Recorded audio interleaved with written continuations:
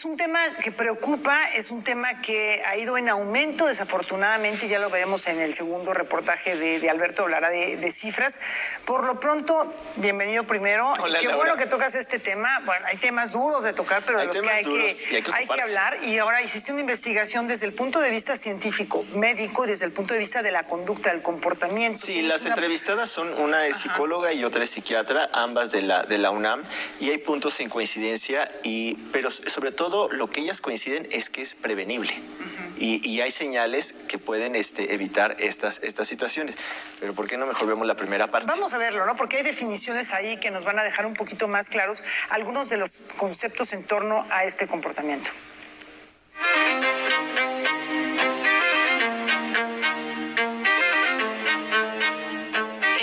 Ocasiones se piensa que puede ser un trastorno mental y no es así, ¿no? Tenemos que quitar ese tabú. El suicidio es una conducta, es un comportamiento que una persona realiza con la intención de terminar con su propia vida. Esto es bien importante porque nos ayuda también a poder diferenciar aquellos eh, suicidios de situaciones que a lo mejor no contarían como tal, ¿no? Y para la parte de una intervención a nivel psicológico, una evaluación, el saber si la persona tuvo esa intención de terminar con su vida es muy importante en nuestra definición.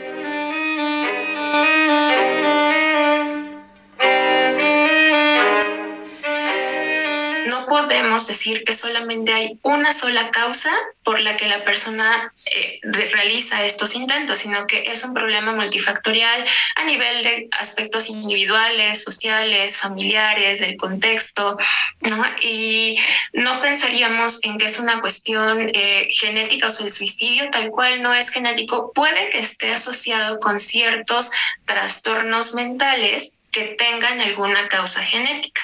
¿No? Por ejemplo, eh, la depresión, ¿no? Este, el trastorno límite de la personalidad, ¿no? Entonces, esto sí puede estar vinculado con la conducta suicida, pero el suicidio tal cual no estaría contemplado de esta forma.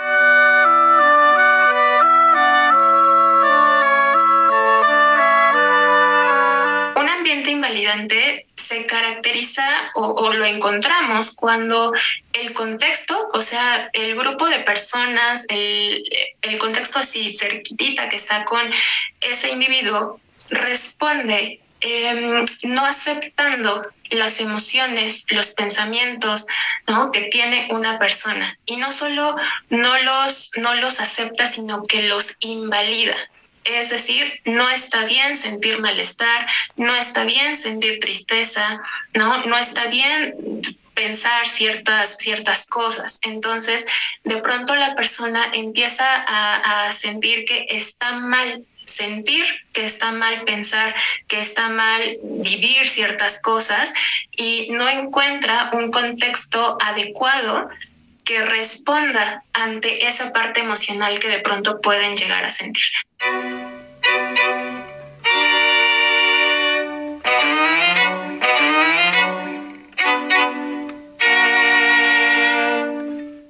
Hombres utilizan métodos más letales y con, pues sí, con más violentos también como por ejemplo arma de fuego, ¿no? Eh, o ahorcamiento. Y en el caso de las mujeres, utilizan otros métodos que a lo mejor no tienen tanta letalidad, como por ejemplo algún tipo de envenenamiento. Entonces, esto también permite eh, que ya en lo real, en las familias, en los contextos eh, reales, las personas, en el caso de las mujeres, puedan ser, digamos, como más fácilmente encontradas, se pueda detectar más y pues también eh, acercarles también como este apoyo.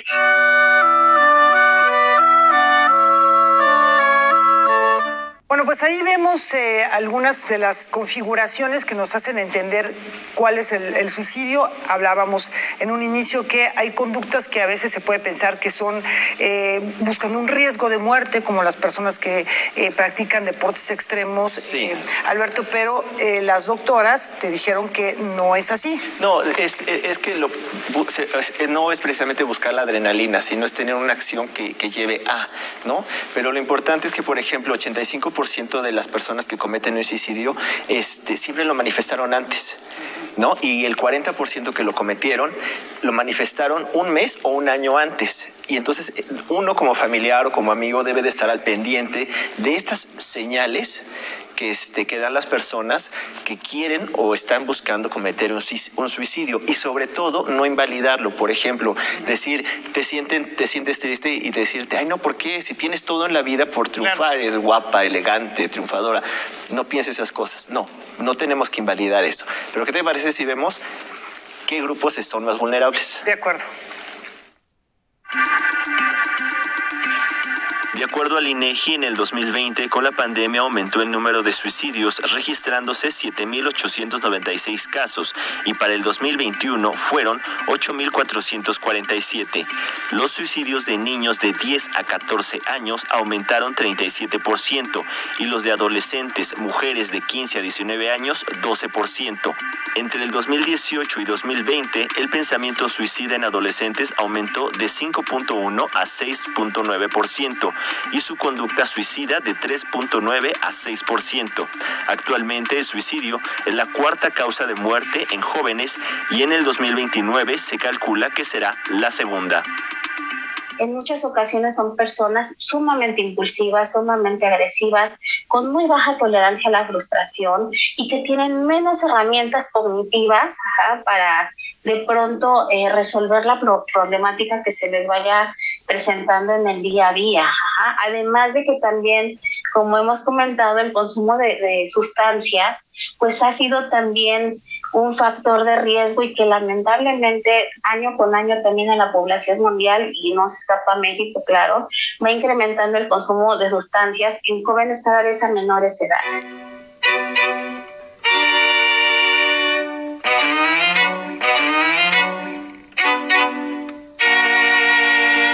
Como por ejemplo em, comer más, comer menos de lo habitual, cambios en, los horarios de, de, irme a dormir, de despertar, aislarme a lo mejor de personas que eran cercanas a mí. Y en muchos casos también hay, en, hablando de los jóvenes y adolescentes, dejan cartas, dejan notas, ¿no? Donde pueden ahí escribir de la vida no tiene sentido no me siento bien, sería mejor estar muerta. A lo mejor también se puede presentar de pronto como tener poco miedo a la muerte, ¿no? Y eh, entrar en actividades que podríamos considerar actividades riesgosas. Por ejemplo, conducir a alta velocidad, eh, salir en la madrugada, ¿no? En algún estado alcoholizado, eh, ponerse en diversas situaciones de riesgo son cosas que podemos identificar, ¿no? Las personas que a lo mejor... Em, en la línea del metro, de pronto como que están caminando por ahí cerquita, se regresan, van, se regresan. Justo esas son estas señales de alerta que podemos identificar. El que empiecen a regalar sus cosas, ¿no? El que empiecen a, a decir, a ver, ¿quién va a cuidar a mi mascota? o quién va a cuidar esto que de alguna forma puede ser importante o valioso para mí.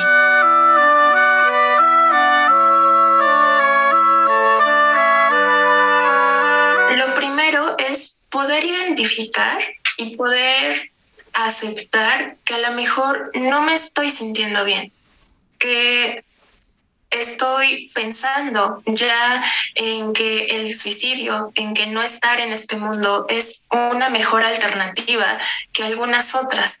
Entonces, ahí lo primero es poder identificarlo, poder notarlo y entonces pedir ese apoyo.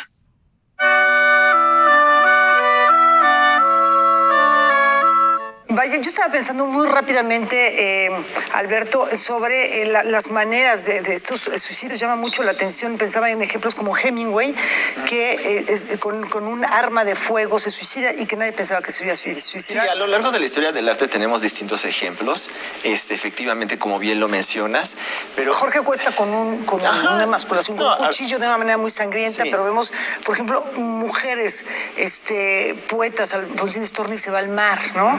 Este, Silvia Platz eh, con el gas, este, Alejandra Pizarnik con eh, pastillas. Aquí, aquí lo, lo, que hay que hacer es que, por ejemplo, todos estos personajes que tú lo mencionas ya habían manifestado ciertos indicios y no hubo quien se acercara para eh, a, brindarles un apoyo.